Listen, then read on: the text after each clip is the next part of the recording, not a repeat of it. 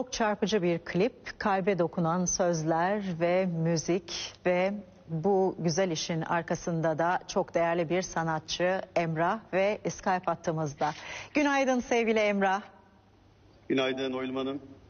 Ee, şöyle bu tarz e, dönemler, bu tarz durumlar sanatçıların e, yaratıcılığını arttırıyor galiba öyle değil mi? Aksi takdirde böyle bir işin çıkması mümkün değil. Evet, doğru. Ee, ben önce bunun şiirini oluşturdum. Tabii bu yaşadığımız dönem gerçekten kolay dönemler değil. Ee, aylardır evdeyiz. Ve e, psikolojik olarak da e, yaşanan birçok şeyden etkileniyor insan. Zaten etkilememek elde değil.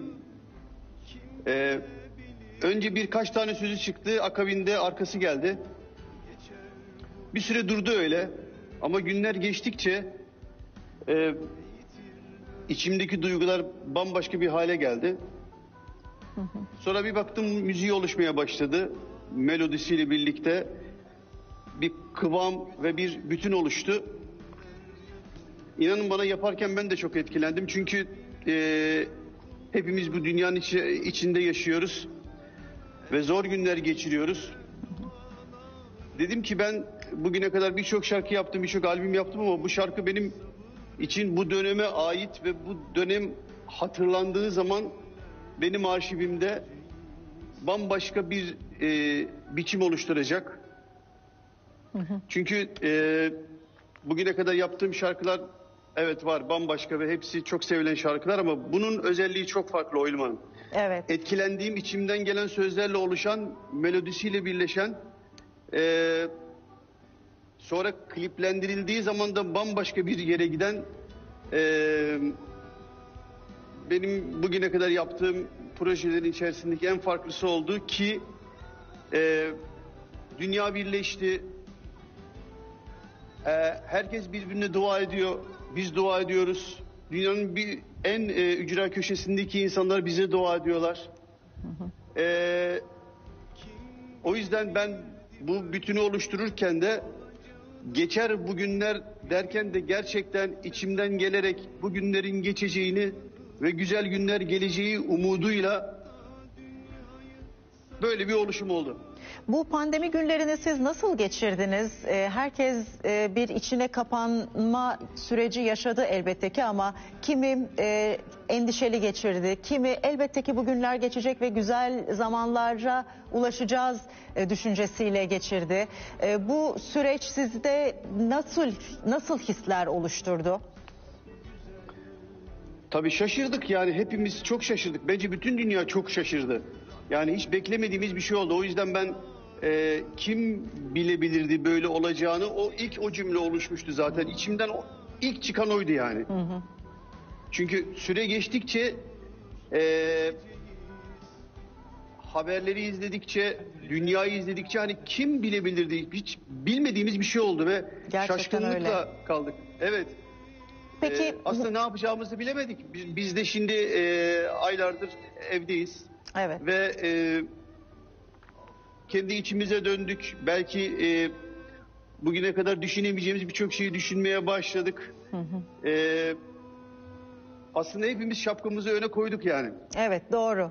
Ee, bu soruyu e, şunun için sordum. O kadar güzel e, ve e, dönemin anlamını yansıtan e, bir şarkı olmuş ki ve o kadar güzel klipte cuk oturmuş ki e, bu şarkıya. Kimlerle çalıştınız? Söz müzik size ait. Klibin yönetmeni kim? E, biraz da bu şarkının çıkış sürecini aktarabilir misiniz bize lütfen? Tabii aktarayım. Ee, öncelikle ben şarkıyı burada kendi evimde yaptım, oluşturdum. Sözü müziği bana ait. Ee, Cüneyt Yalmaz diye çok değerli bir arkadaşım var, aranjör. O bunu düzenledi.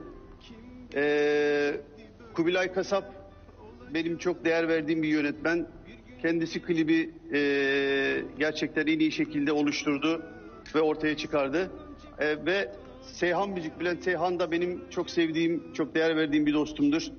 Bugüne kadarki birçok albümümde kendisiyle çalıştım. Seyhan Müzik etiketiyle. E, hatta ben Bülent Seyhan'ı aradığımda şey dedim. Bülent dedim ben Ee, çok enteresan bir şarkı yaptım. Oluşturacağım, sana göndereceğim bir dinle dedim. Böyle kendi içinde oluşan evde bir e, hani e, home studio gibi bir e, e, şekilde oldu aslında. Ben hiç İstanbul'a tabii ki gidemedim. Telefonla ve buradaki e, e, irtibatımla bu iş tamamıyla oluştu. Aha. Klipte sadece Türkiye'de yaşanan salgın süreci yok. Aslında dünyayı nasıl etkilediğine ilişkin de e, görüntüler var. Evrensel bir çalışma olmuş. Tam da dinlerin, milletlerin bir araya geldiği bir süreç yaşandı değil mi? Siz de e, klipte ve şarkıda buna vurgu yapmışsınız. Evet. Evet.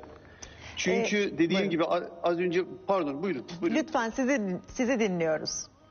Ee, çünkü az önce e, başında da söylediğim gibi herkes birbirine dua ediyor şu anda. Yani biz şu anda dünyanın bir başka yerinde yaşanan bir şeye televizyonu açıp haberleri izlediğimiz zaman içimiz burkuluyor mu? Evet doğru. Gerçekten bur- burkuluyor. Çünkü hepimiz insanız ve aynı geminin içerisindeyiz. Ee, burada şu anda herhangi bir ayrımcılık yok. Çünkü bütün dünyanın meselesi bu. Orada olan bir mesele şu anda bizi ilgilendirmiyor olamaz. Gerçekten ilgilendiriyor. Burada olan bir mesele özellikle böyle bir salgında şu anda e, bütün dünyayı ilgilendiren, hepimizin düşünmesi gereken, hepimizin birbirine yardım etmesi gereken e, Jimmy'yi evet bu şekilde ciddiye alınması gereken bir şey olduğunu düşünüyorum ben Oylum Hanım. Evet, e, Emrah, e, annenize ne kadar düşkün olduğunuz, yaşlılara ne kadar hassas olduğunuzu biliyoruz. Bu süreçte yaşlılara kötü davrananlara gördük. Hatta düşkün diyebileceğimiz yaşlılarımıza suç teşkil eden e, tavırlara rastladık. Bu tarz şeyler neler hissettirdi bir sanatçı olarak size? Benim annemin dün doğum günüydü Oylum Hanım. 81 yaşına girdi. Ah nice E, Allah uzun senelere. ömürler versin. Allah uzun ömürler Ee, versin. Sağ olun. Burada çok yakında bir yerde kendisi e, işte aylardır karantinada işte e, belli kurallar çerçevesinde e, yaşıyor ve dışarı çıkmıyor tabii ki yaşı 81 olduğu için ben kendisine gidip geliyorum uzaktan da olsa görüyorum. E, belli bir yaş üstündeki yaşlı ve e, onlardan çok ders alacağımız insanlara bu davranışta bulunan insanları gerçekten kınıyorum. Çok ayıp. Evet insanın gerçekten içi almıyor değil mi? Çok ayıp. Çok Evet. ayıp. Hiç yakışmıyor. Ee, yapılmaması gereken, davranılmaması gereken şekilde ki şu davranışları hiç yakıştıramıyorum. Neden böyle yaptıklarını anlamış değilim. Eli öpülesi insanların ee, güzel yaklaşılması gereken insanlara bu şekilde davranılmasını hiç hoş karşılamıyorum. Bence ileride bu davranış şekilleriyle ilgili çok utanacaklar yani. Çok ayıp ediyorlar çünkü. Evet zaten ciddi yaptırım da uygulanıyor hem tedbirlere uymayanlara hem de e, az önce sizin de dediğiniz gibi eli öpülesi yaşlılarımıza, büyüklerimize hak etmediği şekilde davrananlara. Hazır sizi bulmuşken biraz gündemi de değerlendirmek özellikle sizin ilgi alanlarınıza e, yönelik gündemi de değerlendirmek isterim. Ligler 12 Haziran'da başlayacak mı, başlamalı mı, başma- başlamamalı mı? E, sporla özellikle futbolla çok yakından ilgili olduğunuzu biliyorum. Bu konuda sizin e, düşünceniz, fikriniz nedir? Valla bu konuda e, devletimiz e, doğru kararları alacaktır elbette ki. Çünkü ben bir e, ses sanatçısıyım, yorumcuyum, oyuncuyum, yönetmenim, söz yazarı, besteci olarak e, kendi alanımla ilgili e, e, birçok konuda fikirlerim olabilir ama bu konuyla ilgili şöyle bir şey o kadar çok iş alanı var ki yani o kadar çok konuşulması gereken ve çok düşünülmesi gereken şey var ki bence e, devletimiz e, ve bu konunun yetkilileri bu konuyla ilgili mutlaka doğru kararı vereceklerdir. Ayrıca şunu da sö- söyleyeyim bu dönemde iki e, bu e, süreçte e, Sağlık Bakanlığımıza da gerçekten teşekkür etmek istiyorum. E, ellerinden gelen her şeyi yaptılar ve doğru bir şekilde yönettikleri kanaatindeyim Oylum Hanım. E, bu süreçte en çok neyi özlediniz? Bu süreçte en çok e, aslında şunu fark ettim Oylum Hanım. E, çok dışarıda vaktimiz geçiyormuş biliyor musunuz? Yani evet arkadaşlarımızla bir araya gelmeyi özledik, sohbet etmeyi, bir kahve içmeyi ya da ne bileyim günün e, anlam ve önemini e, ifade eden konuşmalar yapmayı özledik ama çok dışarıda vakit geçirdiğimizi de gördüm.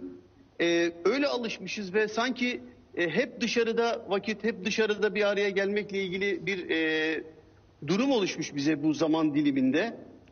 Ee, ama insan sosyal bir varlık. Yani bir araya gelmek, yemekler yemek, sohbet etmek, e, gerekliliği e, mutlak oluyor yani. Bunu özlemedim değil yani. Doğru doğrusu bu. Peki e, Emrah sizin e, şansınız var tabii ki işiniz aynı zamanda tahminen hobiniz, müziğinizi e, evinizde de icra edebiliyorsunuz.